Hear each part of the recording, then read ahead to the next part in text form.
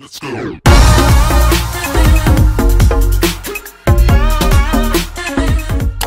Živijo! Vlog snimam, moj prvi vlog. Danes grem nekomu, tako da vas bom samo vzela. Boste videli malo behind the scenes, ker bo vas snimale.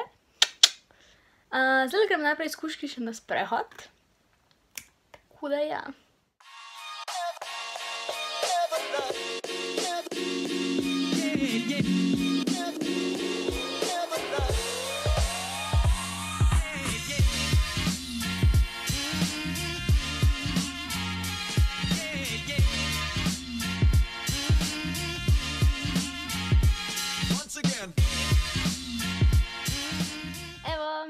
Iz prehoda, stuširana sta, zrihtana sta, oziroma tačke sem jima umila.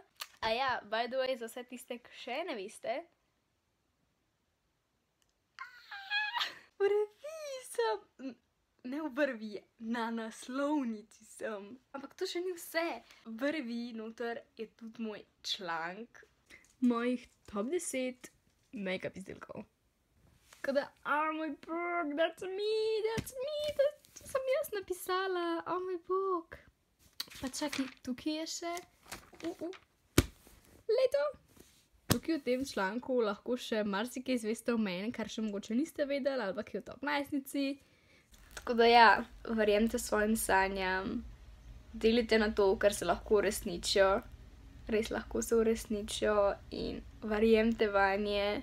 Bodite pozitivni, bodite veseli, imejte se radi, ker to je najbolj pomembno.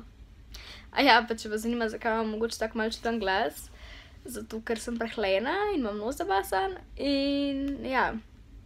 Evo, jaz se zdaj lepelem do Rebeke, ker bo skupaj posnela dva videa. Za mojega sem imela še ene par stvari za narediti in je ful smešen, tako da jaz upam, da vam bo všeč. Video bo pa objavljen v nedeljo.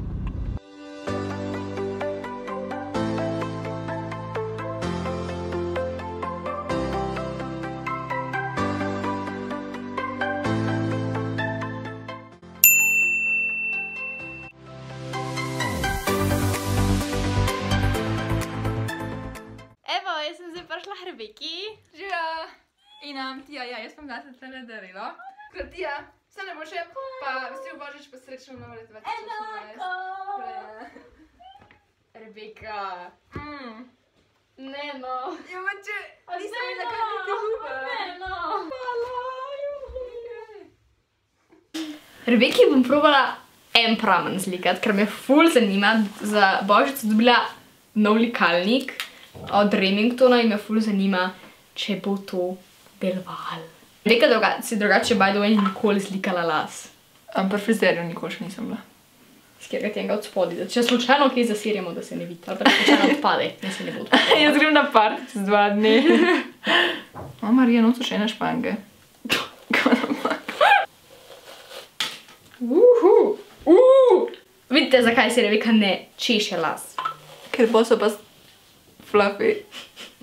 A ja, rokavico imam pa zato, ker to je ta rokavica, ki se kao ne upečeš, se se bistvo ne. no. Da ne bo kdo mislil, da pač noter nosim rokavico.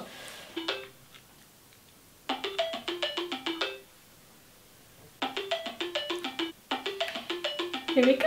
Oh moj god, da so ravni. Kaj da pa? Oh moj god, a se ga lahko pogleda, gledal? Ne to, le, a vidiš tam razliko? A se vidi razlika? Ja. Oh my god. Oh my god. Zdaj bom Rebeki naredila še sama. Ja, Komentiramo to. lej, ne bom sploh, ker imam toliko teh fulminaj si spadal. In um, imam zdaj tako, kot da bi atomska bomba na me rešila, včasih sem v šoli kar tako. Pač, pač jaz ne vem, kaj ne zim, pa, če si jih pa špangicami zapne, pa ful čuden zgleda. Pač imam rajš tako, pač lej. Se bo zrastel. Se, se, ja, se Upam, bo. da čim prej. Trebeko bo zdaj posnela video, ampak preden ga posnamem, bom namazala. Namazala bom s to paletko Makeup Revolution Pro HD Amplified, kot drugače ful huda. Oh, hudo. Poslala so jo izličila Picasso. Um, in imam še eno za vas, tako da na koncu videa povem še navodila, kaj morate narediti, če bi radi zadeli tole paletko. Zdaj grem prvi namazati. Ja. Še enkrat. Jaz sem Rebeki dobila en, en, eno pisemce da mislim, da mi ga je lepoja poslala, če sem Ja. zjara, ne? Ja, Da, ful to je. hvala. Ona ful Če lepo bi riše. pa- a res?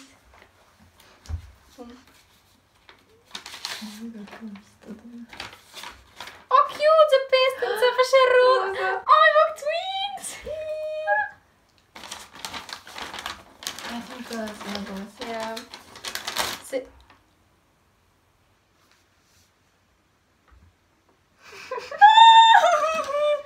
Zlepljena je skupaj. Zlepili se je skupaj. Je bravo, ti ja, boš boš boš Nisem jaz kriva, zlepili se je, lej. To je to.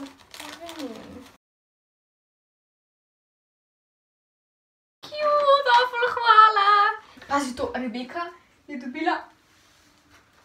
A lahko, meni ta ful mi je lušna, taki so mi ful lušni, ki imajo take učke noter, si imaš še enega. Še enega imam, samo ne vem, kam sem dala. ta mi je tako ful všeč. Pač ne vem, če se vidi, to ima v učkih. Sto hude. Tako da ja, zdaj greva posnet, pa greva verjetno v kakšen live, pa se bo pa, se se bo vam izkrijale, upam. Bova se, dolje Ja. spavala. Joj, a lahko, kaj si moj ful mila cute. smi. Prav, Ja, zalakirala si jih bom, pač le tu, no, le tu, kaj je tu. Evo, mi da so zdaj posnele dva videa, pa še live pa bile. Pa, Pa- ful, pa nekaj sem ti naučila. Ja, nekaj me je naučila delati na kompu, tako da ful sva že zmatrana, jaz sem tako ful rdiča, imam ful rdiča lica. No, jaz Um, sem rdiča. Ja, ura je zdaj okrog osmih, res od Ja. treh sem že tukaj, sem še spat grem, res. To snemanje je ful naporno, drugače. Mhm. Pač vi si, po mojem, mislite, da je to tako, pa se to tako, nama je to tako ful over. Ful fajn, Sam- ampak. Pol zraven pride to editanje, pa to, da si moraš biti skozi pač pred kamero nasmejan Ja. in je dost. Sploh pa, če snimaš več video zapored. Mm. Ampak ja, tak je pač. I'm more than just a picture. I'm a daughter and a sister. Sometimes it's hard for me to show that I'm more than just a rumor or a song on your computer.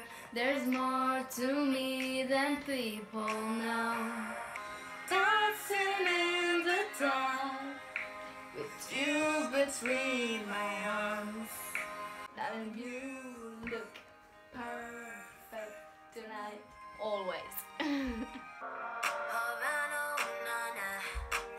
Half of my heart is in Havana, oh, na, na. He took me back to East Atlanta, na, na, na. A si slišala že Wolves? Ne vem. Ne vem. Mož so že, Nisi slišala Wolves? O moj bog! Čakaj, da poslušam.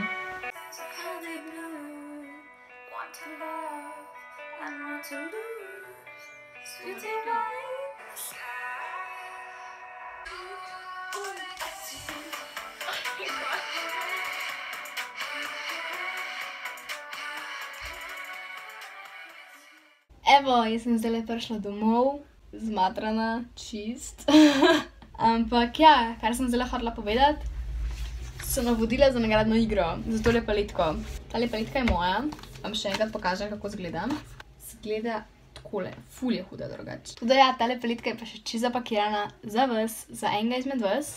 In kar je treba narediti, je, moraš biti subscriber na moj kanal, v komentar napisati sodelujem. Nagradna igra se konča 1. januarja, takrat bom tudi napisala zmagovalcu pod njegov komentar, moj mail in tam mi bo napisal podatke. Prosim, ne mi pisati, a sem lahko jaz žrebana, sem lahko jaz žrebana? Ali pa kaj takega podobnega, ker mi res ni všeč, hočem, da je pravično. In še bolj pravično je, jaz žrebam s programom, v katerega ostavim moj YouTube posnetek in zbere vse komentarje. In potem program žreba nagrajenca, kateremu potem jaz napišem da je bil on žreban. In tako isto sem naredila tudi na moji prejšnji nagradni igri. Dve nagrajenki iz prejšnje nagradne igre sta mi že sporočili, zdaj pa samo še čakam na odgovor Gaje Vinkovič. Tako da mogoče ga, če gledaš ta video, pet mi hitro sporočiti svoj naslov. Ampak ja, naslednjič verjetno ne bom več tako povedala, samo napišem pod komentar. Če en teden ne boste odgovorili, bom izžrebala novega. To je vse v bistvu to za današnji video. Jaz upam, da ti bo ta vlog všeč.